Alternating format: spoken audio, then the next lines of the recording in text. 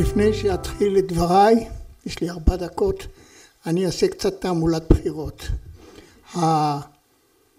הטענה שהשמאלנים הם שונאי ישראל שאין עם מי לדבר, אין מה לדבר עליהם. ולכן או ביבי או טיבי.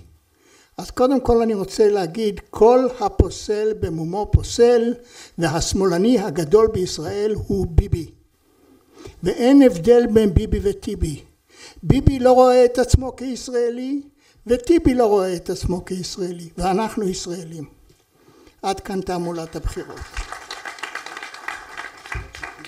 באשר לשאלה האם זה לאומיות או לא לאומיות, אם יש צורך במילה לאום וכן הלאה, זה לא עניין של ניסוחים ולא עניין של מילים ולא עניין של רשימות, אלא עניין של אפליה נגד מיעוטים. יש לנו פה בארץ הזאת שני מיעוטים לאומיים, כל אחד מתקרב בערך 20 אחוז, עוד מעט הם יהיו יותר מ-50 אחוז של האוכלוסייה.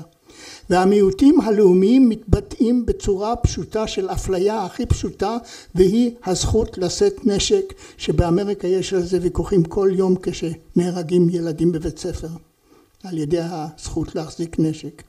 בישראל יש הרבה אזרחים שרשאים לבחור ולהיבחר לפרלמנט אבל לא רשאים להיות חיילים בצבא. וזה לכן עושה את החייל יותר חשוב מהפרלמנטר. ולכן כל מה שצריך כדי שהבעיה תיעלם היא לממש את חוק הגיוס חובה ולגייס כל אזרח ישראלי שאין לו פטור מהרשויות הרפואיות או כל רשויות אחרות שיהיה מעוגן בחוק באופן רשמי.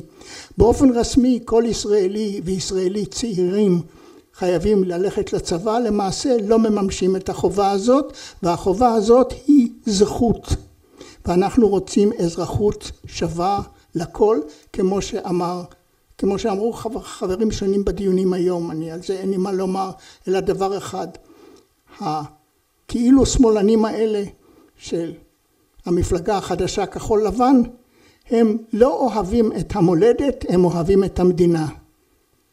זאת אומרת כשאנחנו דורשים להכיר במדינת ישראל כמדינת הלאום הישראלי אנחנו רוצים אהבת מולדת